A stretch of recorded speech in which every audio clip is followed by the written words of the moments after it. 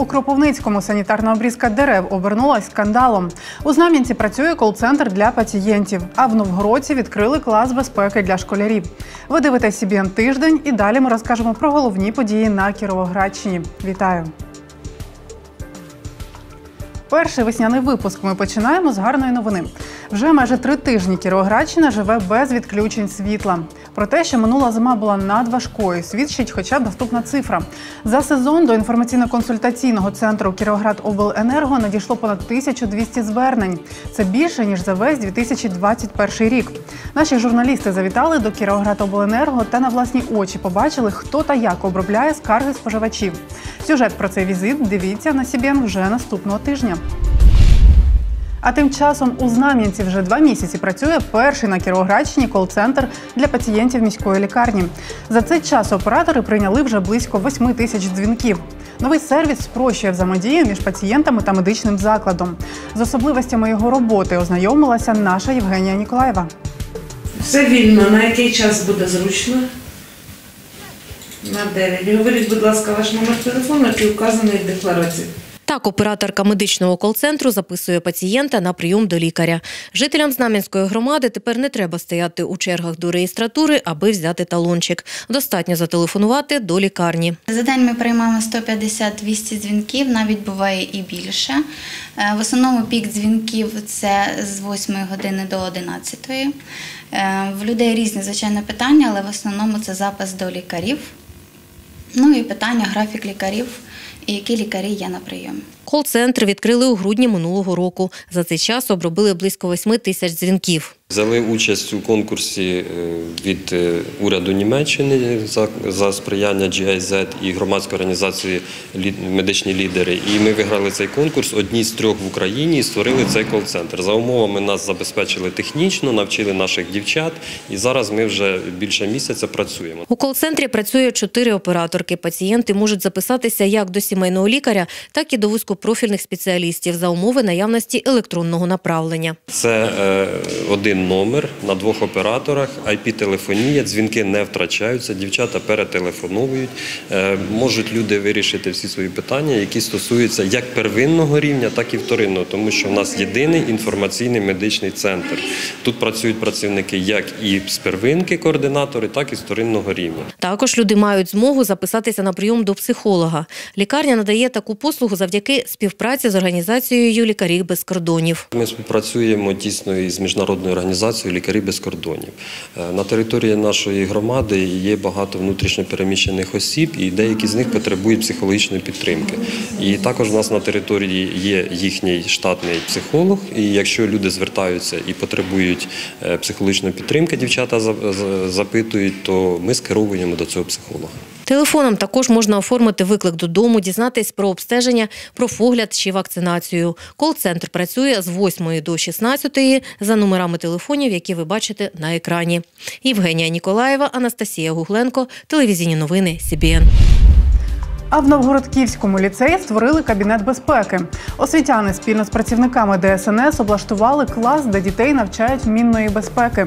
Крім теоретичної частини, курс включає й інтерактивну. На відкритті побували наші журналісти.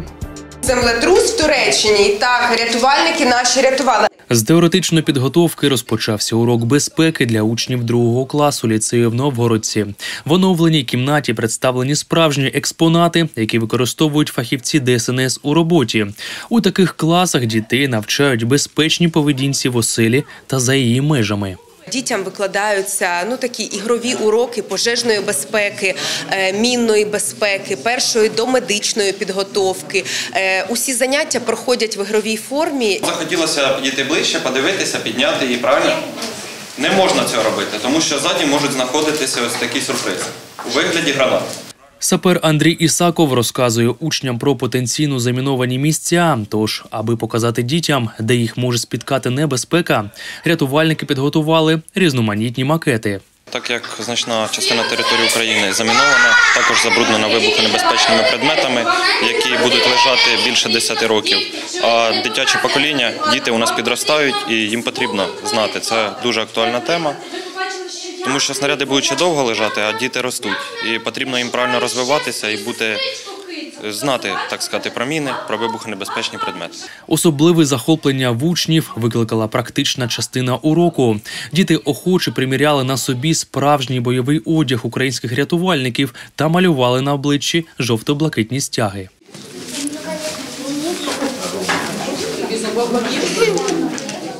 В такому кабінеті безпеки одночасно можуть навчатись до 30 учнів початкових класів. Згодом до навчання будуть залучати і школярів старшого віку. Ми співпрацювали із головним управлінням ДСНС, тобто е, дуже багато вони нам допомагали методично, які повинні бути локації. Підготували ми його за один тиждень. Швидкими темпами багато було у нас людей задіяно, наших працівників, е, вчителів, е, працівники ДСНС. Всі разом ми працювали.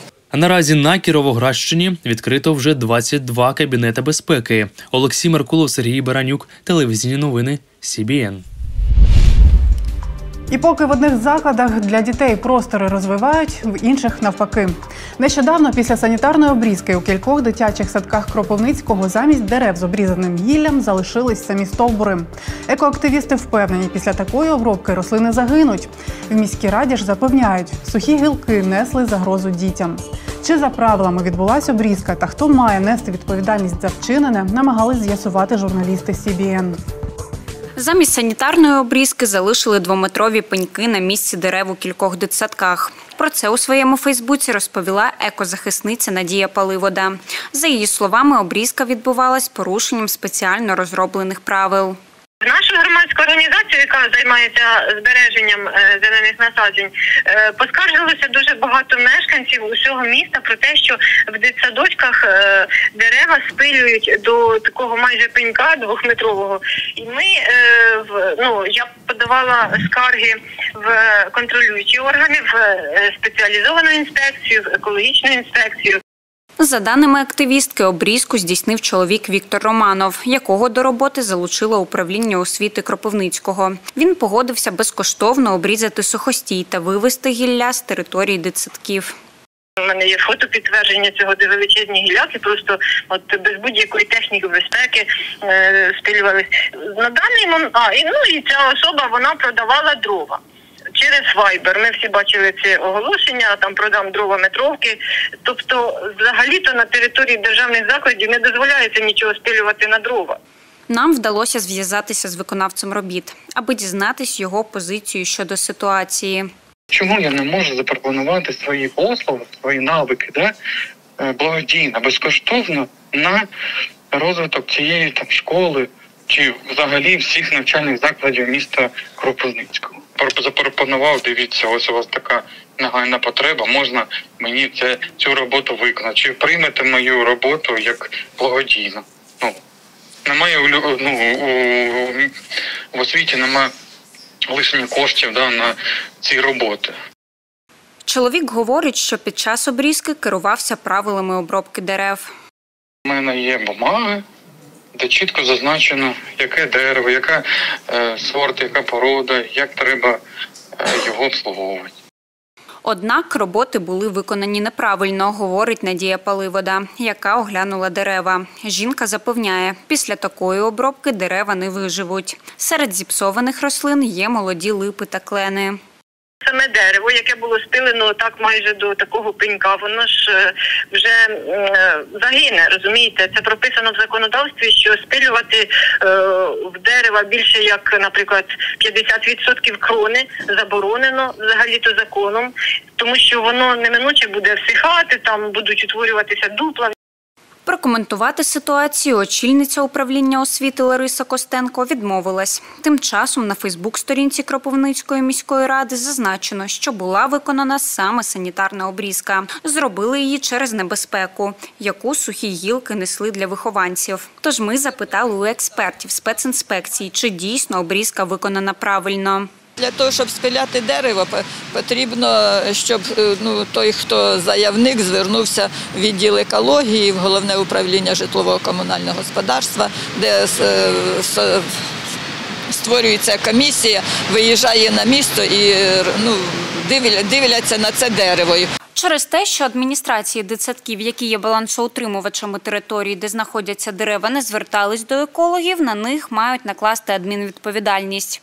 Проте лише у випадку наявності скарги з боку містян. Нині з трьох дитсадків, де було неправильно обрізано дерева, скарга надійшла лише на обробку одного стовбура. Тобто штраф загрожує лише одному закладу і лише за одну рослину. Адмінпротокол, ну це в основному фізичні особи, значить це від 840 до 1700 штраф. Але чи платитиме адміністрація одного з садків штраф хоча б за одне дерево, невідомо. Адже скаргу ще має перевірити спеціальна комісія, яка і вирішить, чи було порушення. Марія Матюнькіна, Сергій Баранюк, телевізійні новини СІПІН. Додамо, що санітарну обрізку проводять зазвичай до початку вегетації рослин. Цей процес триває до середини квітня. Тож обрізка дерев у Кропивницькому може тривати ще півтора місяці. Ми продовжимо слідкувати за розвитком подій навколо цієї ситуації та інформувати вас про неї. А зараз розповімо продовження історії на іншу тему, яку ми висвітлювали нещодавно. Мова йде про загальнобудинкові лічильники на воду. Їх водоканал встановлює у багатоквартирних будинках, щоб боротись з крадіжками води. Дані з приладів розподіляють між усіма мешканцями будинку. Тобто, крім плати за фактично спожиту воду, абоненти отримують нарахування ще й за необліковану різницю. Іноді суми таких нарахувань сягають десятків тисяч гривень. Після нашого матеріалу про те, як намагаються вирішити ситуацію в громадах Кіровоградщини, до редакції звернулася жінка, якій борг з такого лічильника то нараховували, то скасовували кілька разів. В результаті останніх даних водоканалу вона має заплатити кілька тисяч гривень. У ситуації розбирався Олексій Меркулов. Я розумію, це розподільчий прилавок. Ну, і на мене одну за місяць 16 тисяч 400 кубов. Я дельфіна держу. Наталія Дяченко демонструє диктофонну розмову з працівником абонентського відділу Дніпро Кіровоград. Жінка в розпачі. Лише за грудень їй нарахували 16 тисяч гривень за водопостачання з розрахунку на двох осіб. Але з квітня пенсіонерка живе сама, адже її донька виїхала за кордон. Борг все ж таки вирішила сплачувати, щоб не втрачати субсидію. Я вже, щоб оформити субсидію, угоду уклала.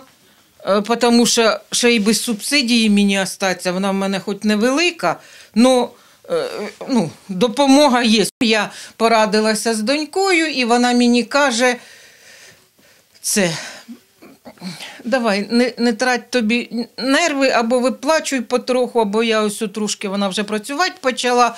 е, Зможу, я тобі допоможу. Я говорю, ну воно ж все одно якби несправедливо. Тож 23 жовтня жінка встановила квартирний лічильник, але опломбувати його змогла вже 3 листопада. Тож за жовтень і три дні листопада повинна була сплатити за 6,5 кубів води. А як у мене тільки в листопаді одної не було два дня лічильника, вони все кинули на мене. Тобто, ну вони помилилися. Вони це пересчитали. Ну, правда, вони помилилися самі. А щоб мені це виправили, треба було йти на комісію обласну.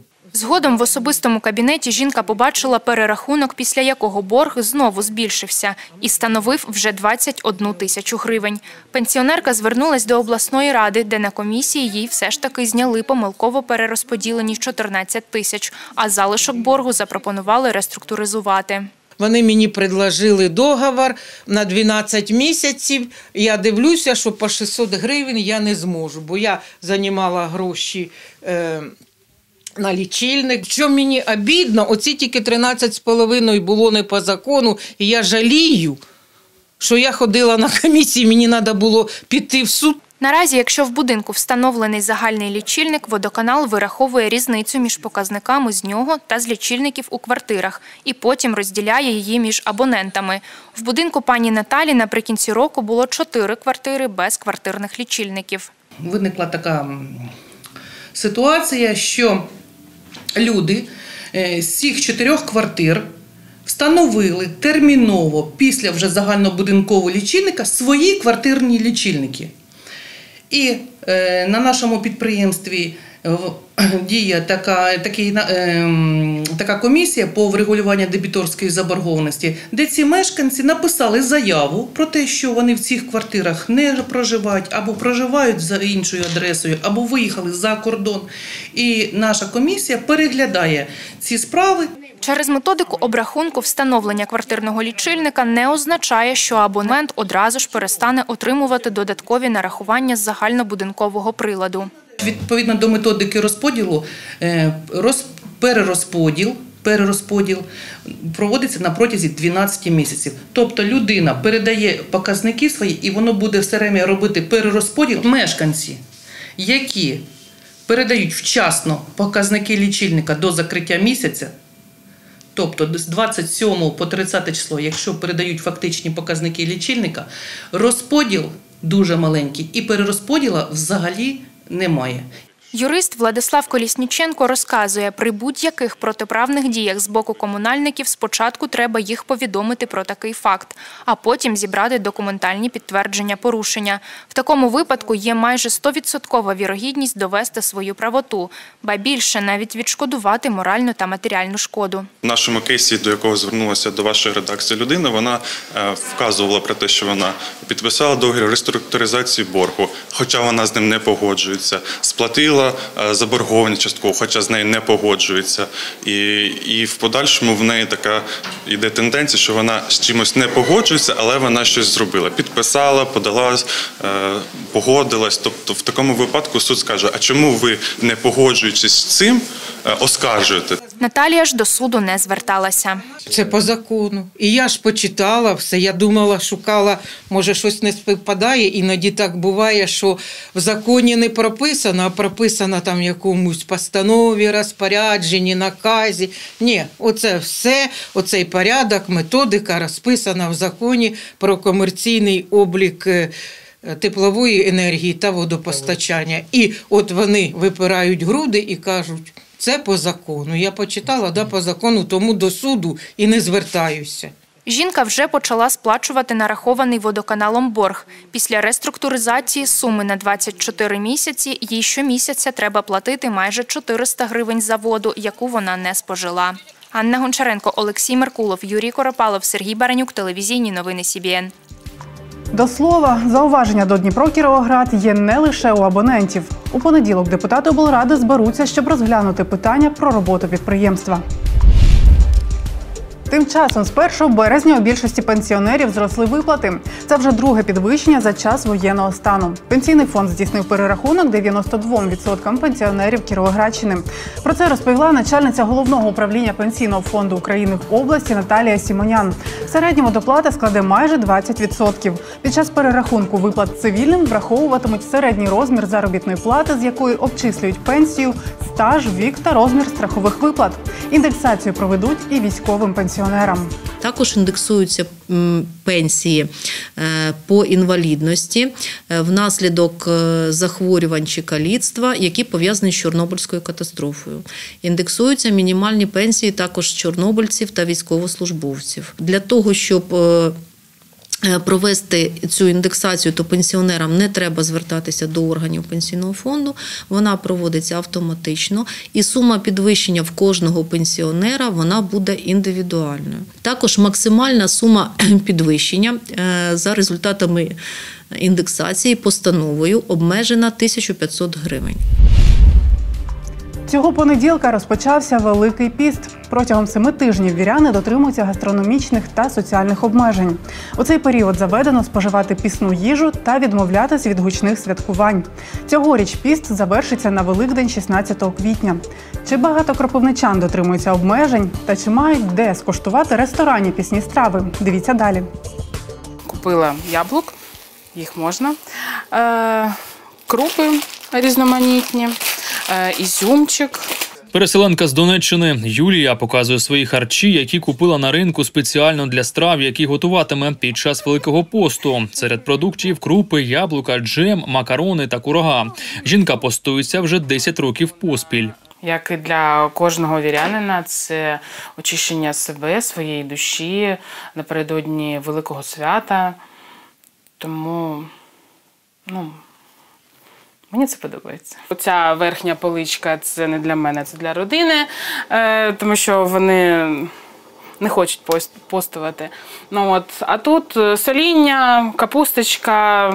Своїй сім'ї Юлія дотримується посту одна, тож холодильник поділений на зони. Жінка заздалегідь підготувалась та прибрала з поличок усі смачні спокуси. Можна вживати пісні продукти, тобто е, крупи, е, овочі, фрукти, е, бобові,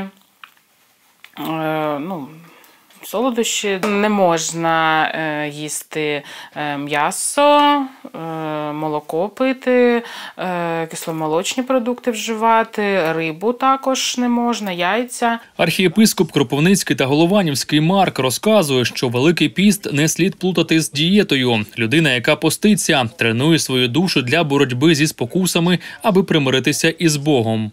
У цей період церква закликає вірян, щоб вони зосередилися власне на собі, е, знайшли те в собі, що нас позбавляє свободи, що нас е, псує як людей, і поборолися із собою, і змінилися до кращого. В той час, коли наші військові стримують е, таку навалу на сході від окупанта російського, від цього зла, так, щоб ми тут в тилу також е, цей піст присвятили якісним змінам своїм. Великий салат до нього з е, грибів рангі, кабачка, перед чилі і оливково соєва заправка. Кухар одного з ресторанів міста показує страви з нового меню. В закладі заздалегідь до великого посту підготували спеціальне меню з шести страв серед пісних смаколиків, піца, суп, салати та пудинг. Меню сформовано з салату, е, холодної закуски, е, супу, основної страви і десерту. Тобто Це цілий комплекс, е, завдяки чому людина може собі набрати пів- повний раціон і наїстися. В ресторані прогнозують, що пісне меню буде користуватись популярністю клієнтів, адже вже не перший рік готують пісні страви. А ми тим часом запитали у кропивничан, чи збираються постувати вони. Ні, А чому розкажіть, будь ласка? Тому що я в поважному віці і це впливає на моє здоров'я. Звісно, будемо поститися. як це ви робите? Розкажіть. Та ніяк. е, І так я постюся, нічого не їм, м'яса не люблю, нічого не. Так що не знаю. Просто не вживаю м'ясо. Поститись? Ні. А чому? А я ніколи не пощусь. Ну це шкідливо для здоров'я. Родичі, мабуть, будуть. Це як е, обичай у них. Постити чи ні, кожен вирішує для себе. Наприклад, родичі Юлії не практикують обмежень перед Великоднем, але жінка вважає, що вони добре впливають на моральне та фізичне здоров'я. Коли ти е, приходиш на службу просто посвятити Пасхи, ну, от, це е, один стан. А коли ти приходиш, е, ну, скажімо так, очищений духовно і, можливо, фізично, то це ну, геть інше відчуття. Церква дозволяє послаблення посту з благословіння священника. Це стосується людей старшого віку, хворих, вагітних або подорожуючих. А для вірян, які від сьогодні дотримуються обмежень, піст триватиме до 15 квітня. Олексій Меркулов, Сергій Баранюк, телевізійні новини СІБІН. І разом з приходом весни вже не перший рік виникають дискусії щодо доцільності збереження свята 8 березня. Його противники аргументують свою позицію сексистськими стереотипами та звичкою відзначати цей день в радянських традиціях. Прибічники ж вважають цей день ще однією можливістю нагадати про важливість дотримання прав жінок. У застосунку дія навіть проходить опитування щодо доцільності збереження вихідного дня 8 березня. А що з цього приводу думають кропивничани? Дізнавалася Марія Матюнькіна. Незабаром 8 березня свято, яке є звичним для українських жінок. Втім, останні роки навколо нього виникає безліч дискусій, адже цей день святкують переважно в пострадянських країнах. Тож чи варто святкувати 8 березня в Україні? Про це ми запитаємо кропивничан.